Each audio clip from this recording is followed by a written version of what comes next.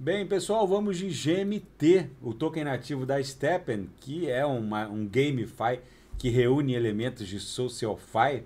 É um, foi um dos pioneiros do Move to Earn, já que é preciso se mexer para ganhar esse token e que está revolucionando também o, o uso prático de NFTs. Mas enfim, o fato é que a gente está se desdobrando aqui na explosão ascendente dessa cunha triangular de caráter ascendente. A gente já estava basicamente transitando pela banda superior do canal de Keltner. Agora a gente está rompendo aqui a aresta superior desse triângulo. As duas linhas do canal de Keltner já emborcaram de baixo para cima contra a nuvem de Shimoku. Na projeção, a nebulosidade esverdeada começou a se desenhar desde ontem. Agora a gente deve abrir uma boca de jacaré aqui. Lembrando que quando o token transita por cima da nebulosidade esverdeada, ele fica sujeito àquela repulsa magnética que catapulta ele para cima. Então é um prognóstico muito positivo, agora subindo 21,63% pela métrica da TradingView.